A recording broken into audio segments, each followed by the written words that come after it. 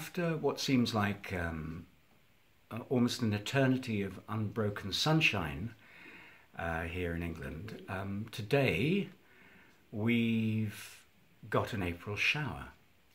And um, that reminded me of a poem written over 620 years ago by Geoffrey Chaucer. Um, this is the very beginning of the Canterbury Tales. Uh, I can't do this in the original Middle English, so I'm going to read a translation, and it's kind of pertinent. When that April, with his showers sweet, the drought of March has pierced root deep, and bathed each vein with liquor of such power that engendered from it is the flower.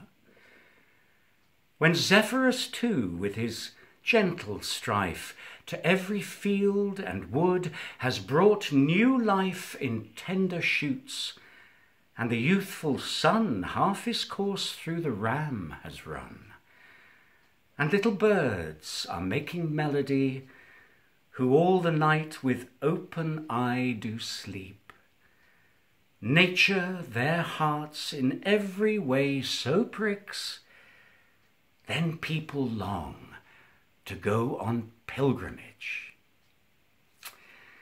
Well, um, unfortunately, at the moment, uh, I don't think anybody's going on pilgrimage, but there you are. Um, the next one uh, you will uh, probably know rather well, and um, what's interesting here is that um, the uh, there was a brother and, and a sister her name was Dorothy Wordsworth, and his name was William Wordsworth.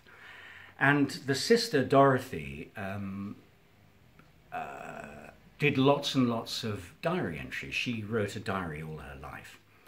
So here we have a diary entry for April the 15th, 1802.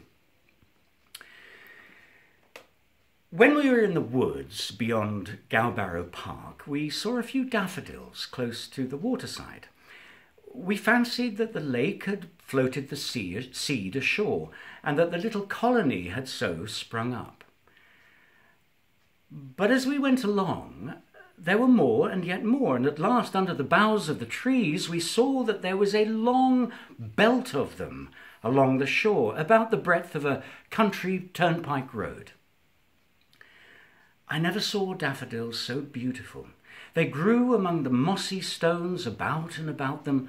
Some rested their heads upon these stones as on a pillow for weariness, and the rest tossed and reeled and danced and seemed as if they verily laughed with the wind that blew upon them over the lake.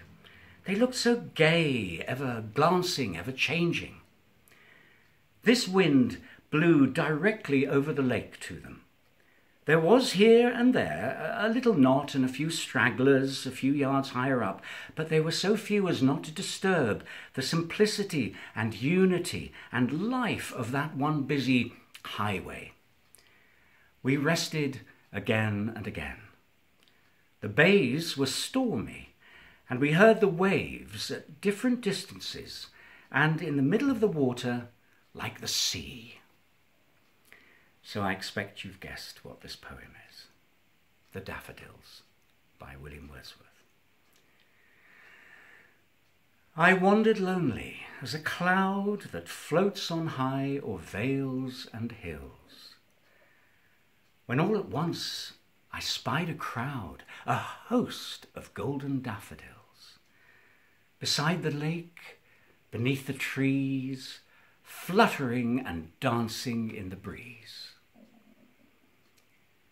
continuous as the stars that shine and twinkle on the Milky Way, they stretched in never ending line along the margin of a bay. Ten thousand saw I at a glance, tossing their heads in sprightly dance. The waves beside them danced, but they outdid the sparkling waves in glee.